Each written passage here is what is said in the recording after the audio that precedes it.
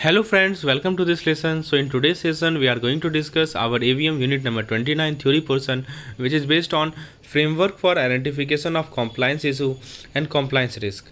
So so, इस lesson में दोस्तों हम लोग कॉम्प्लाइंस इशू के बारे में बात करेंगे। कॉम्प्लाइंस रिस्क क्या होता है इनहेरेंट रिस्क और कंट्रोल रिस्क क्या होता है क्या क्या इंडिपेंडेंट टेस्टिंग कैसे किया करवाया जाता है इफ़ेक्टिव ऑडिट प्रोग्राम क्या है रिपोर्टिंग फ्रेमवर्क क्या है और कैसे कॉम्प्लाइंस को मॉनिटर करें इंस्पेक्शन और ऑडिट का क्या रोल है लोन रिव्यू मैकेनिज्म क्या होता है क्रेडिट ऑडिट क्या होता है और एक अच्छा कॉम्प्लाइंस का क्या मीनिंग है। All this thing aspect will be discuss so let's begin with tech transforming compliance challenge हमारा जो भारत का बैंकिंग लैंडस्केप है, वो रैपिडली चेंज हो रहा है। क्यों चेंज हो रहा है? क्योंकि हमारा फाइनेंस और टेक्नोलॉजी के बीच में कोलेबोरेशन के कारण our banking landscape is changing rapidly तो फाइनेंशियल टेक्नोलॉजी एक डिसरप्टिव फोर्स है, जो कि हमारे फाइनेंशियल सेक्टर को रिसीव कर रहा है बिज़नेस मॉडल को रिसीव कर रहा है और बैंकिंग स्ट्रक्चर को रिसीव कर रहा है फ्यूचर में। सो फ्रेंड्स कॉम्प्लाइंस एक इंपॉर्टेंट आस्पेक्ट है सस्टेनेबल ग्रोथ के लिए और सक्सेस स्टोरी किसी बैंकिंग के लिए कॉम्प्लाइंस होना बहुत ज़रूरी है। कॉम्प्लायंस का मतलब कि आप लॉ को फॉलो कर रहे हैं रूल्स रेगुलेशन और जो कोड्स ऑफ़ कंडक्ट हैं ऑर्गेनाइजेशन के अपने इंटरनल रूल्स पॉलिसीज़ प्रोसीड्यूर्स और इसको आप फॉलो कर रहे हैं राइट कॉम्प्लाइंस का मतलब यही होता है और जो हमारा इथिकल प्रैक्टिस है, उसके अकॉर्डिंगली आप एक्ट कर रहे हैं। तो जो कॉम्प्लाइंस चैलेंज है, वही हम लोग पढ़ने वाले हैं दोस्तों कि कौन कौन से कॉम्प्लाइंस चैलेंजेज हैं। तो compliance challenge as a financial regulation arise होता है। और ये बहुत ही कॉम्प्लेक्स हो जाता है दोस्तों। और ऑर्गेनाइजेशन बहुत ही बर्डन फेस करती है। तो दोस्तों 2020 में जो रेगुलेटरी कॉम्प्लायंस की जो चैलेंज थी, उसमें लेटेस्ट टेक्नोलॉजी और यूज़र फ्रेंडली स्ट्रेटजी को मतलब जो हमारी चैलेंजेस थी, उसमें क्या रिक्वायरमेंट थी कि हम लेटेस्ट टेक्नोलॉजी को यूज़ करें और यूज़र फ्रेंडली स्ट्रेटजी को यूज़ करें, उसे इफेक्टिवली हैंडल करने के लिए। ये 2020 का बात मैं कर रहा हूँ कि to the challenge of regulatory compliance के की रिक्वायरमेंट है कि हम लेटेस्ट टेक्नोलॉजी यूज़ करें और यूज़र फ्रेंडली स्ट्रेटजी यूज़ करें।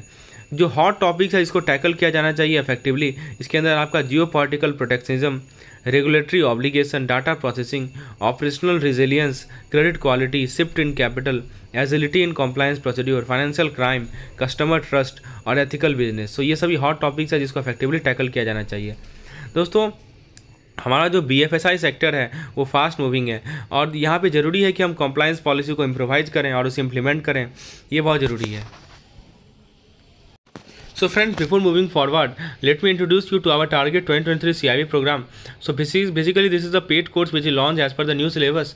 We are covering uh, a theory portion, MCQ portion, mock test portion. So every aspect is taken care of and you will get uh, a comprehensive plan where first of all you will get theory आपको theory मिलेगा दोस्तों theory concise notes मिलेगा उसके बाद आप उस पर M practice करेंगे लगभग डेढ़ सौ से दो सौ एम है पर चैप्टर और उसके बाद दोस्तों एमसीक्यू प्रैक्टिस करने के बाद आप मॉक टेस्ट देंगे ताकि अपने स्ट्रेंथ को देख पाएँ कि आपकी स्ट्रेंथ क्या है वीकनेस क्या है।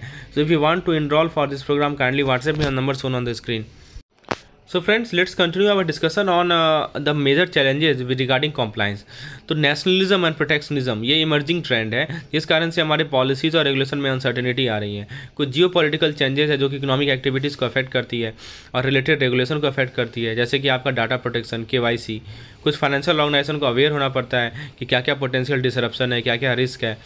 और फाइनेंशियल क्राइम की पॉसिबिलिटीज से भी अवेयर रहना पड़ता है। दोस्तों रेगुलेशन में जो डाइवर्जेंस होता है, वो क्यों आता है? कुछ लोकल नीड्स होती हैं, कुछ ग्लोबल नीड्स होती हैं, और जो हमारी फाइनेंशियल ऑर्गेनाइजेशन है, वो अपने स्ट्रेटजी को अकॉर्डिंगली क्या करे? अडेप्ट करे चेंज करे। तो जो प्रोटेक्शन और जो गवर्नेंस ऑफ़ डेटा है, वो क्रूसियल है फाइनेंशियल सर्विस प्रोवाइडर के लिए। ऑपरेशनल रिजिलियंस एक इंपॉर्टेंट है रेगुलेटरी कॉम्प्लाइंस के लिए, और फाइनेंशियल इंस्टीट्यूशन जो है चेंजिंग इन्वायरमेंट से अडेप्ट करे। कैसे अडेप्ट करे? डिस्क्रप्शन को मैनेज करके ऑपरेशनल रिस्क को कंट्रोल करके। जरा बात करते हैं दोस्तों कि क्रेडिट साइकिल से रिलेटेड क्या क्या रिस्क है। सो so, इसमें हम लोग अभी तीन बात तीन चीज़ों को डिस्कस करेंगे। क्रेडिट साइकिल से क्या क्या रिस्क है कैसे हम रेगुलेटरी कैपिटल को ईज करें लिक्विडिटी रिक्वायरमेंट को ईज करें और कंप्लायंस ऑपरेटर की एजिलिटी ये तीन टॉपिक को हम लोग डिस्कस करेंगे। दोस्तों देखिए जो फाइनेंशियल इंस्टीट्यूशन है उन्हें समझना पड़ेगा अपने पिछले क्रेडिट साइकिल से कि कैसे हम पोटेंशियल रिस्क को बचा सकें।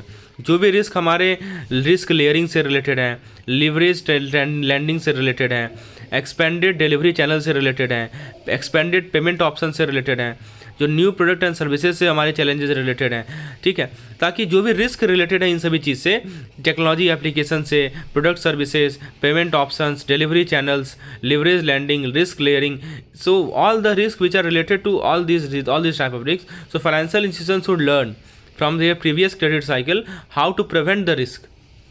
कैसे रिस्क को प्रिवेंट करें? ये चीज़ फाइनेंशियल इंस्टीट्यूशन को क्या करनी पड़ेगी? समझनी पड़ेगी अपने पिछले क्रेडिट साइकिल से। दोस्तों, जो इंस्टीट्यूशन है, वो कंसिडर करे कि कौन कौन से रिस्क अराइज हो रहे हैं? Climate change air and water pollution employ health जो कि प्रोडक्शन साइकिल को इम्पैक्ट करेंगे और सप्लाई चेन मैनेजमेंट को इम्पैक्ट करेंगे। तो इसे, इस चीज़ को इंस्टीट्यूशन को कंसिडर करना पड़ेगा। देखिए रेगुलेटरी कैपिटल को आसान बनाना लिक्विडिटी रिक्वायरमेंट का लिक्विडिटी का रिक्वायरमेंट इसका मतलब ये नहीं हुआ कि आप रिस्क मैनेजमेंट को वीक कर देंगे। आप रेगुलेटरी कैपिटल को आसान बना रहे हैं, लेकिन रिस्क मैनेजमेंट को वीक कर, नहीं करना है आपको। और तो दोस्तों एक रेगुलेटरी फोकस रहेगा गवर्नेंस पे, और capital planning and capital and liquidity framework financial firm जो है, वो अडेप्ट करेगी एमर्जिंग रिस्क से। और रेगुलेटरी डेवलपमेंट से new market necessities and shifting customer preference ताकि फोकस रहे टेक्नोलॉजी पे कंज्यूमर प्रोटेक्शन रिस्क पे, और एआई आर्टिफिशियल इंटेलिजेंस और क्लाउड सिस्टम का रिस्पॉन्सिबल यूज़ हो। कैसे कस्टमर ट्रस्ट को बिल्ड किया जाए? बैंक बिज़नेस में इथिक्स का क्या मतलब है? कॉम्प्लाइंस रिस्क क्या होता है? ये आइए समझते हैं। दोस्तों टेक्नोलॉजी ने फाइनेंशियल ऑर्गेनाइजेशन के लिए बेनिफिट्स लाया है। लेकिन दोस्तों, कुछ रिस्क भी क्रिएट किया है फाइनेंशियल क्राइम का फ्रॉड का। तो जो रेगुलेटरी अथॉरिटी है, वो प्रेसराइज कर रहे हैं फाइनेंशियल कंपनी को कि वो ऐसे रिस्क को आइडेंटिफाई करें और उसे प्रिवेंट करें। दोस्तों, कुछ इनोवे कुछ इनोवेशंस को अडॉप्ट किया गया है, जैसे आर्टिफिशियल इंटेलिजेंस फिनटेक तो ये कुछ रेगुलेटरी अथॉरिटी इसे अडॉप्ट की है। लेकिन दोस्तों, अभी भी इसका वॉल्यूम और डाइवर्सिटी डेटा का डाइवर्सिटी अभी भी चैलेंज है। कस्टमर ट्रस्ट बहुत ज़रूरी है और फाइनेंशियल कंपनी को एक पर्सनलाइज फेयर और प्राइवेसी फोकस सर्विस प्रोवाइड करना बहुत ज़रूरी है। दोस्तों बिज़नेस में इथिक्स का क्या मतलब है? ये भी इंपॉर्टेंट है और फाइनेंशियल कंपनी को अनइथिकल कंडक्ट को प्रिवेंट करना है। कॉम्प्लाइंस रिस्क का मतलब क्या होता है दोस्तों? कि जो भी हमारा लीगल या रेगुलेटरी सेंक्शन के कारण रिस्क राइज होता है। फाइनेंशियल लॉस के कारण रिस्क आता है. रेपुटेशन लॉस के कारण रिस्क आता है. तो लीगल के कारण फाइनेंशियल लॉस के कारण रेपुटेशन लॉस के कारण जो भी रिस्क आता है जिसके कारण से आ, हम कंप्लाई नहीं कर पाते लॉज रेगुलेशन रूल्स स्टैंडर्ड से उसे हम लोग कॉम्प्लाइंस रिस्क कहते हैं. अब कैसे कॉम्प्लाइंस रिस्क को आइडेंटिफाई किया जाए? कुछ कॉम्प्लाइंस रिस्क होते हैं corruption employ behaviour work place health and safety environmental impact data management quality process and social responsibility तो कंप्लाइंस रिस्क को आप आइडेंटिफाई करेंगे रेगुलेटरी फोकस के बेसिस पे कस्टमर सर्विस आस्पेक्ट पे control aspect nature of activity bank का exposure क्या है इट्स मेटेरियलिटी बहुत सारे ब्रीचेज जो कि पास्ट हिस्ट्री में रिपोर्ट किए गए हैं। पेनल्टी के इम्प्लीकेशन के बेसिस पे कंप्लाइंस रिस्क को आइडेंटिफाई करेंगे। बैंक के पास नया प्रोडक्ट अप्रूवल प्रोसेस होगा और जो कंप्लाइंस डिपार्टमेंट होगी वो इंश्योर करेगी जो कंप्लाइंस रिस्क है सारे न्यू प्रोडक्ट में और प्रोडक्ट और प्रोसेस में वो आइडेंटिफाई किया जाए और अप्रोप्रिएट रिस्क मिटिगेंट्स को रखा जाए ताकि उसे लॉन्च करें। दोस्तों, जो चीफ कंप्लाइंस ऑफिसर होता है, इसके बारे में हम लोगों ने लास्ट लेक्चर में ही बात किया। वो पार्टिसिपेट करते हैं क्वार्टरली डिस्कशन जो कि आरबीआई के साथ हेल्ड होती है। और आरबीआई के साथ डिस्कशन होती है दोस्तों। और S S M R B I उसके टीम के साथ दोस्तों ये कॉन्टैक्ट रखते हैं कॉम्प्लाइंस इशू से रिलेटेड जो कॉम्प्लाइंस स्टाफ है, उनको एक्सेस होना चाहिए, सारा जो भी इन्फॉर्मेशन चाहिए कॉम्प्लाइंस रिव्यू करने का कॉम्प्लाइंस इन्वेस्टिगेशन करने का और स्टाफ के अकाउंटेबिलिटी को एग्जामिन करना चाहिए सारे कॉम्प्लाइंस फेलियर के लिए। आखिर ये फेलियर हुआ तो क्यों हुआ? कौन कौन स्टाफ अकाउंटेबल हैं इसके कारण? इसके पीछे एक सुटेबल सिस्टम डिज़ाइन किया जाना चाहिए ताकि हम कॉम्प्लाइंस को वेटेज दे सकें कॉम्प्लाइंस रिकॉर्ड को वेटेज दे सकें। कॉम्प्लाइंस फ़ंक्शन इंडिपेंडेंट होना चाहिए सफिशियंटली रिसोर्स होना चाहिए और क्लियरली डिफाइंड रिस्पॉन्सिबिलिटी होना चाहिए। कंप्लाइंस फ़ंक्शन की जो एक्टिविटीज़ हैं, उसमें पीरियोडिक और इंडिपेंडेंट रिव्यू होना चाहिए इंटरनल ऑडिट फ़ंक्शन का। दोस्तों कंप्लायंस फ़ंक्शन को रिगार्ड किया जाता है कोर रिस्क मैनेजमेंट एक्टिविटी किसी बैंक के अंदर। अब जरा बात करते हैं कि कंप्लायंस रिस्क मैनेजमेंट फ़ंक्शन क्या है। तो दोस्तों हिस्टोरिकली देखा गया कि कंप्लायंस जो है रिस्क मैनेजमेंट को प्रॉपरली प्रोसेस नहीं कर रहा है, ठीक है? तो प्रेजेंट डे अप्रोच क्या है, वो रिस्क बेस है और ड्यू डिलीजेंस बहुत ज़रूरी है। इफ़ेक्टिव सिस्टम जो कि हमारे रिज़ल्ट को एम्फेसाइज करता है, वो बहुत ही क्रिटिकल है। ड्यू डिलीजेंस को डिमॉन्स्ट्रेट करने के लिए। जो एसेंशियल इंग्रेडिएंट है ड्यू डिलीजेंस का, उसके अंदर एक कमिटमेंट है कॉम्प्लाइंस एक commitment consistent and effective enforcement full and effective reporting monitoring and inspecting the system effectiveness ये सभी आते हैं। तो जो कंप्लीट रिस्क मैनेजमेंट फ़ंक्शन है, इसके अंदर identifying documenting assessing compliance risk assisting and advising on integrity and reputational issues ये सभी हमारे कंप्लीट रिस्क मैनेजमेंट फ़ंक्शन के अंदर आते हैं। अब जरा बात करते हैं दोस्तों कंप्लाइंस रिस्क और ऑपरेशनल रिस्क फ्रेंड्स जो कॉम्प्लाइंस फ़ंक्शन है, वो रिस्पॉन्सिबल है कि रेगुलेटरी फ्रेमवर्क जो बैंक का रेगुलेटरी फ्रेमवर्क है, उसे एसेस करना, उसे इम्प्रूव करना। पॉलिसीज़ को गाइडलाइंस को प्रोसीड्यूर्स को और कंप्लाइंस को इंश्योर करना एथिकल स्टैंडर्ड के साथ। कंप्लायंस फ़ंक्शन जो है, एक risk based annual compliance programme से के तरह ऑपरेट होगा, जिसके हेड ऑफ़ कंप्लायंस के द्वारा देखा जाएगा, और वो रिपोर्ट वो रेगुलरली रिपोर्ट करेंगे ऑडिट कमेटी को और सीएमडी को। ठीक है? दोस्तों, जो कंप्लायंस रिस्पॉन्सिबिलिटी है, वो अलग अलग यूनिट को एलोकेट किया जाता है, उनके एक्सपर्टाइज के बेसिस पे। और एक क्लोज कॉपरेशन को इस्टेब्लिश किया जाता है इंटरनल ऑडिट के इंटरनल ऑडिट और कंप्लायंस डिपार्टमेंट में। ऑपरेशनल रिस्क को डिफाइन किया जाता है कि जो भी रिस्क आपका आ रहा है, क्योंकि आपने आपका जो इंटरनल प्रोसेस है वो फेल कर गया। फिर पीपल के इंटरनल पीपल के कुछ फेलियर आ जाए, सिस्टम में कुछ फेलियर आ जाए, या कुछ एक्सटर्नल इवेंट आ जाए, जैसे, लेकिन इसमें स्ट्रेटजिक और रेपुटेशन रिस्क नहीं आता है। ऑपरेशन रिस्क में दोस्तों, क्योंकि स्ट्रेटजिक रिस्क और रेपुटेशन रिस्क अलग तरह का रिस्क है।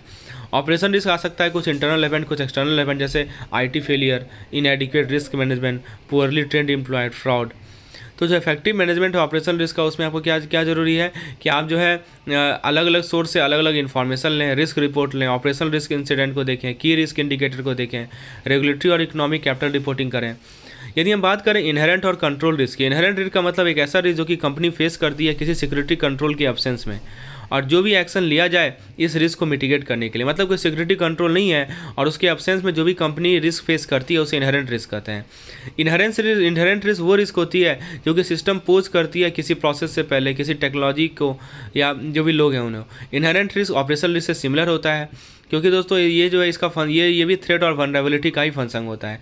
इनहेरेंट रिस्क को आप एक्सप्रेस कर सकते हैं थ्रेट और वनरेबिलिटी का combination residual risk remaining risk होता है जब आपका, आपने सिक्योरिटी कंट्रोल ले लिया, आपने एक्शन ले लिया, ताकि इनहेरेंट रिस्क को मिटिगेट कर लें। उसके बाद जो भी रिस्क बचा रह जाता है, वो हमारा रेसिडुअल रिस्क कहलाता है। तो इनहेरेंट रिस्क का मतलब ये हुआ कि कितना लॉस की प्रोबेबिलिटी है। आपने सिक्योरिटी मेजर तो कंट्रोल आपने सिक्योरिटी मेजर तो इम्प्लीमेंट किया, आपने कंट्रोल मेजर भी इम्प्लीमेंट किया, लेकिन इम्प्लीमेंट करने के बाद भी आपकी कितनी लॉस की प्रोबेबिलिटी है, ये आपको इनहेरेंट रिस्क बताता है। कंट्रोल रिस्क आपको बताता है रेजिडुअल रिस्क के बारे में। जो कि आपने कंट्रोल को इंप्लीमेंट करने के बाद जो आप, जो भी आपकी रेजिडुअल रिस्क बची रह गई, वो कंट्रोल रिस्क होता है। तो दोस्तों, दो तरह का रिस्क होता है इनहेरेंट रिस्क होता है और एक हमारा कंट्रोल रिस्क होता है। इनहेरेंट रिस्क का मतलब कि आपने सिक्योरिटी मेजर इंप्लीमेंट किया कंट्रोल को इम्प्लीमेंट किया, उसके बाद क्या प्रोबेबिलिटी है लॉस होने का। और कंट्रोल रिस्क आपके रेजुअल रिस्क का मेजर करता है। कंट्रोल रिस्क आपको बताता है कि आपने कंट्रोल को इम्प्लीमेंट किया, उसके बाद कितना रेजुअल रिस्क है। क्रेडिट रिस्क दोस्तों बैंकिंग एक्टिविटीज़ में इनहेरेंट है। इस कारण से लॉसेस हो सकते हैं, जो जब कस्टमर फाइनेंशियल डिटोरेशन को एक्सपीरियंस करता है। बैंक जो है हाई प्रायोरिटी प्लेस करती है, ये इंश्योर करने में कि इसका एसेट साउंड हो। और इनका क्रेडिट रिस्क मैनेजमेंट कैपेबिलिटी को इन्हांस किया जाए। बैंक के क्रेडिट रेटिंग सिस्टम को एम्प्लॉय करती है एक सेल्फ असेसमेंट सिस्टम को एम्प्लॉय करती है, ताकि क्रेडिट रिस्क को क्वान्टिफाई कर सकें। मार्केट रिस्क का मतलब ये होता है कि जो भी आपके मार्केट रिलेटेड इंडिकेटर हैं, उसमें मूवमेंट आया, उस कारण से जो लॉसेज आते हैं, उसे मार्केट रिस्क कहते हैं। बैंक स्ट्रिक्ट मैनेजमेंट को कंडक्ट करती है और मार्केट रिस्क को कंट्रोल करती है। दोस्तों, जो भी हमारे बैंक के ऑपरेशन में रिस्क का वॉल्यूम है, वो बोर्ड ऑफ़ डायरेक्टर डिसाइड करते हैं एग्जीक्यूटिव कमिटी डिसाइड करती है। जो भी यूनिट्स मार्केटिंग मार्केट ट्रांजेक्शन में इंगेज होते हैं वो अपने असाइंग लिमिट में ऑपरेट होते हैं। दोस्तों, जो भी हमारा ऑपरेशनल और प्रॉफिट एंड लॉस का रिज़ल्ट होता है, वो डेली बेसिस पे डायरेक्टर इंचार्ज को रिपोर्ट किया जाता है और रिपोर्ट फिर एग्जीक्यूटिव कमेटी को हर एक महीना प्रेजेंट किया जाता है। बैंक रिस्क मैनेजमेंट की बात करें तो लिक्विडिटी रिस्क का मतलब ये होता है कि आपका एक फाइनेंशियल इंस्टीट्यूशन जो रिस्क को फेस कर रही है, जिसको फंड नहीं है फंड की कमी है, और वो जो है गैप को ब्रिज नहीं कर पा रही है। दोस्तों, लिक्विडिटी रिस्क को मैनेज करना बेसिक और वाइटल आस्पेक्ट है बैंक के ऑपरेशन का। बैंक पीरियडिकली अपने फंड सोर्स को एग्जामिन करती है। फंड के यूज़ फंड के सोर्स को फंड के यूज़ को एग्जामिन करती है। ताकि स्ट्रक्चर को इम्प्रूव कर सकें। गाइडलाइन इस्टेब्लिश किया गया है फंड के गैप को फंड के गैप से रिलेटेड जो भी यूनिट्स इन्वॉल्व हैं कैश फ्लो को मैनेज करने में, वो इन्फॉर्मेशन को रिपोर्ट करती है फंड गैप के बारे में मार्केट इन्वायरमेंट के बारे में, या दूसरे मैटर जो कि लिक्विडिटी रिस्क से रिलेटेड है, वो रिपोर्ट किसे करेगी? रिस्क मैनेजमेंट डिपार्टमेंट को रिपोर्ट करेगी। जो रिस्क मैनेजमेंट डिपार्टमेंट होती है, वो कैश फ्लो को मैनेज करती है। ओवरऑल चार्ज होता है कैश फ्लो मैनेजमेंट का, और वो पीरियडिकली रिपोर्ट करती है एग्जीक्यूटिव कमेटी को। बैंक के पास कंटिजेंसी प्लान होता है ताकि वो फ्लैक्सिबली और क्विकली रिस्पॉन्ड कर सके लिक्विडिटी शॉर्टेज का। ऑपरेशन रिस्क की बात करें तो जो भी कस्टमर ट्रांजेक्शन से रिलेटेड ऑपरेशन रिस्क होता है, उसी कारण से एरर के, कुछ लॉसेस आ सकते हैं एरर के कारण अनइथिकल कंडक्ट के कारण। तो एक्यूरेट और रैपिड फुलफिलमेंट चाहिए कस्टमर ट्रांजेक्शन का, ये फाउंडेशन है बैंकिंग सर्विसेज़ में ट्रस्ट का।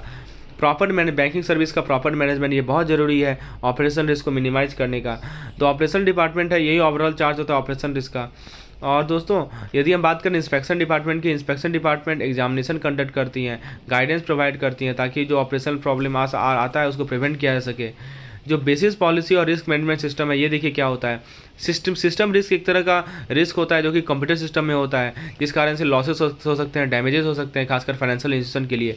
बैंक जो है अपने सिस्टम रिस्क के मैनेजमेंट को एक मैनेजमेंट रिस्क मानती है और टेक्नोलॉजी इशू नहीं मानती उसको मैनेजमेंट रिस्क मानती है और उस पर काम करती है कैसे सुपरवाइज किया जाए कैसे कंट्रोल किया जाए।